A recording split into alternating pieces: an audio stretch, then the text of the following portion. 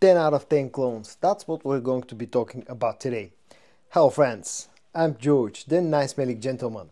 Welcome back to the channel. I hope that all of you are doing well. It's time for your daily dose of some fragrance content and it's time to talk about 10 out of 10 clones. And I've prepared 11 such fragrances that I'm going to show you today.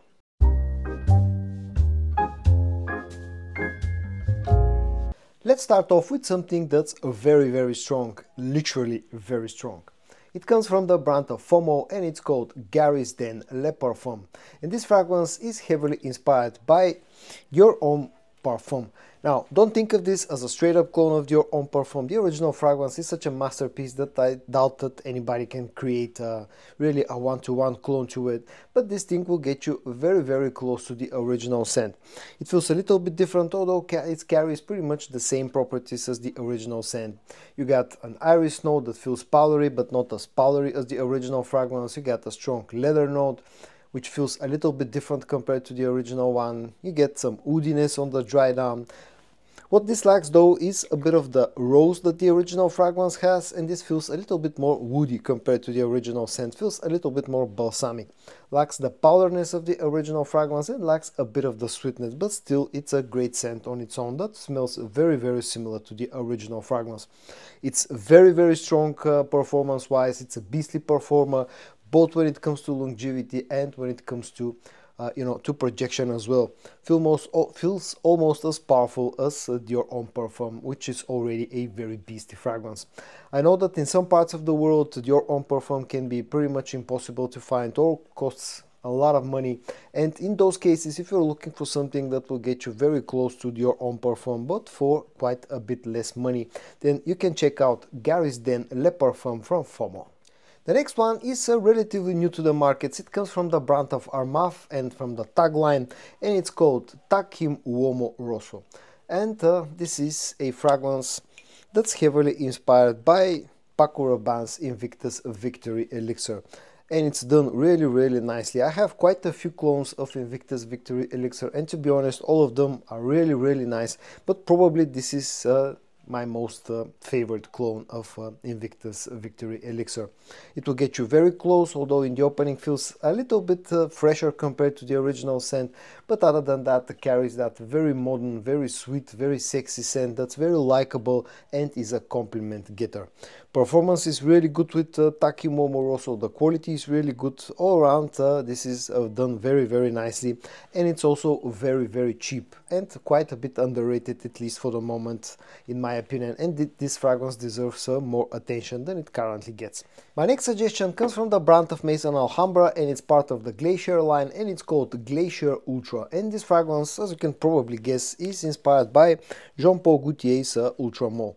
Now I've said this many many times but I absolutely love the original fragrance. It's such a great youthful playful scent that uh, you know it's a really lovely scent and I've loved it uh, since the day that it was introduced.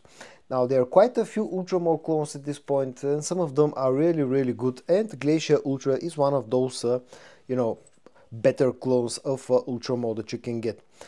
It carries the very similar scent to the original fragrance. You get that uh, signature sweetness and mintiness that the original, uh, the whole original Le Male line has. But in here, like the original scent, you get an addition of a very sweet pear note that just adds more freshness, more sweetness, and just uh, makes the whole scent pro profile a little bit uh, youthful.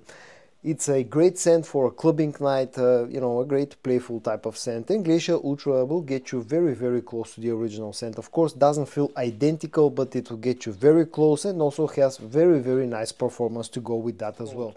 Qaa'ed Intense. And this fragrance is cloning Givenchy Gentleman Reserve Privé. And again, another clone that's done very, very nicely, and that's why it's being part of this uh, video called 10 out of 10 clones. It carries a very, very similar scent to the original fragrance. You get that very warm, very sweet uh, scent profile that the original fragrance has. It has quite a bit of powderness as well. You have a strong iris note in here. You get a bit of chestnut. You get a bit of uh, a boozy note in here, maybe a hint of tobacco as well. It's done very, very nicely and it's also a very, very strong performance-wise. Tends to last for a very long time, projects really nicely and all around the quality here is superb and the best thing is that it's uh, priced uh, very uh, affordably. Now there are some rumors, I've heard some rumors from some of my viewers that this fragrance has been discontinued. I don't know if that's true or not.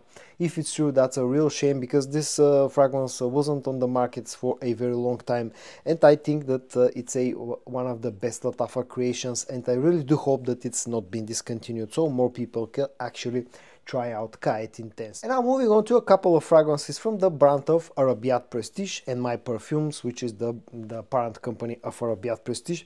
Now both fragrances that I'm going to show you have one con and that's the fact that they're a little bit more pricey, but in return you get superb quality and great performance. The first one is part of the Aariz series and it's called simply Aariz. And this fragrance is a clone or something that's been heavily inspired by Sospiro Vibrato and Bulgari's Tygar. It carries that very signature, very masculine scent profile that I absolutely love. It's a super versatile scent that relies on a lot of citruses, on a grapefruit, sweet grapefruit note. You got some musks, you got uh, some woods, you got some spices. Again, a very, very masculine and very versatile fragrance that can serve as a great signature scent to anybody.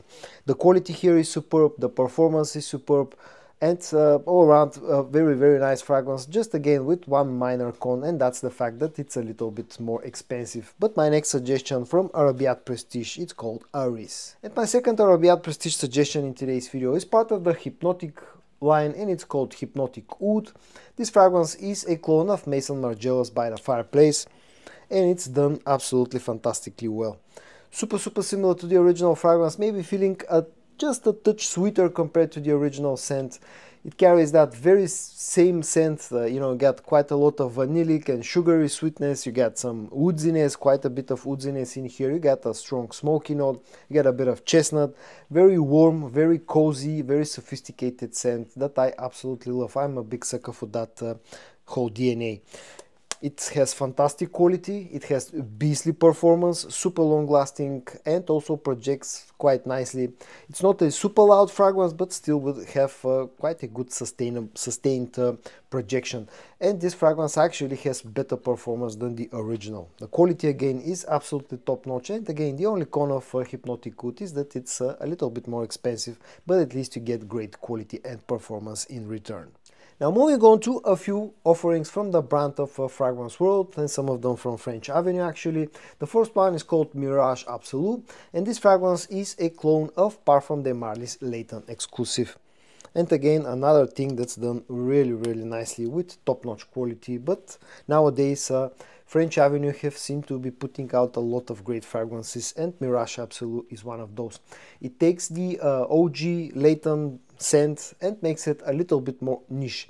Makes it a little bit more woody makes it a little bit darker and again makes it a little bit more niche because a lot of people argue that the original Layton is actually doesn't feel like a, a niche fragrance feels more like a designer designer level scent but with uh, Layton exclusive things are taken a notch up and Miraj Absolute actually replicates the original scent really really nicely. Superb quality, superb performance, superb projection. Again slightly more pricey than your usual clones but again you get great quality in return and you also get great packaging. The next one actually comes from Fragrance World themselves and it's part of the Posh line and it's called Posh Omega. Now this fragrance is uh, very underrated in my opinion and I just recently covered it in another video, I think it was yesterday. But this fragrance is cloning a discontinued gem from the brand of Jean-Paul Gaultier which is called Essence de Parfum and it actually replicates it very very nicely. It, it's a very interesting, very sexy scent profile that's also somewhat similar to Carolina Herrera's uh, CH uh, Privé. It has uh, quite a bit of leather, you get some spices, a very nice cardamom note in here, you get some sweetness, you get some leather in here.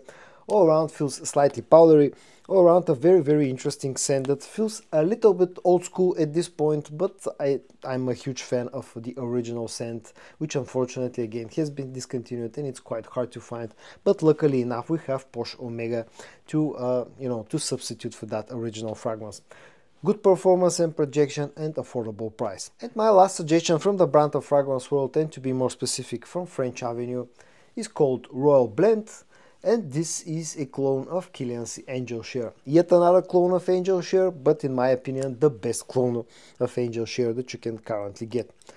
Very very similar to the original fragrance, replicates that superb cognac note that the original fragrance has very nicely. And in fact to my nose this even feels like having a little bit stronger boozy note compared to Angel Share itself you get the, the boozy note, you get the spices, you get the oudziness, and you get the, the, the nice amount of sweetness that the original fragrance has. Smells very sophisticated and it's a very strong scent that lasts for a very long time and projects very very nicely. Perfectly unisex, carries a, an affordable price and comes luxuriously packaged. So what more you can ask from a fragrance, from a clone fragrance. The next one comes from the brand of Paris Corner and it's one of my latest discoveries, although this is not a new fragrance to the markets, uh, so I'm a bit late to the party on this one, but still, finally I was able to get my hands on a bottle of this fragrance and it turned out to be a great one. It's called Camaro Homme Intense and it's a clone of Dior Homme Intense, as you can probably guess. It's quite similar to the original fragrance, but feels like a slight twist. You still get the iris powderness and sweetness, you get the musks, the ambrette, you get the, the sweetness of the pear note, you get the ouds on the dry down. But in here, what it's kind of different uh, to my nose compared to the current uh, formulations of the original fragrance is that I pick up a, you know, a hint of a leather note, which brings it also somewhat close to Dior Homme perfume has a very nice quality and has a very very good performance and probably this is one of the best if not the best performing Dior Homme Intense clone that I have in my collection currently. It's very affordable and at this current time this actually is my most favorite Dior Homme Intense clone in my collection. And my last suggestion in today's video is again one of, one of my most recent purchases. It comes from the brand of Orientica and it's called Royal Bleu. And this fragrance is a clone of Parfums de Marly's Layton. And it's another superb clone of Layton. And I've been really liking Royal Bleu to be honest. I just did a review of this one uh, this week I think and uh, it's, it's been quite an impressive scent. I really like the bottle design although I know that this is uh, more of a personal thing. Some people maybe uh, won't be uh, liking the design itself but I really like it. But what's the more important part is that the quality of the scent is very very high. It's very similar to Layton especially in the air feels identical. Up close it's a little bit different. Maybe uh, feels uh, a little bit less spicy and green in the opening. It's like having a little bit more of an ambery sweetness. And on the dry down getting very very close. But the quality and the performance are top notch performance wise this is as good of a performer as Layton itself uh, and uh, you know it's a it's a great fragrance all around and I've been really loving uh, Royal Bleu. It's a little bit more expensive that's uh, that's true but again you get a great quality in return. So my last suggestion in today's video for a 10 out of 10 clone from Orientica Royal Bleu so there you have them guys, 11 10 out of 10 clones from my collection. I hope that you found this video interesting to watch, if you did give it a like and I also hope that you're going to join me tomorrow for your daily dose of some fragrance content. And until then, stay safe and bye bye.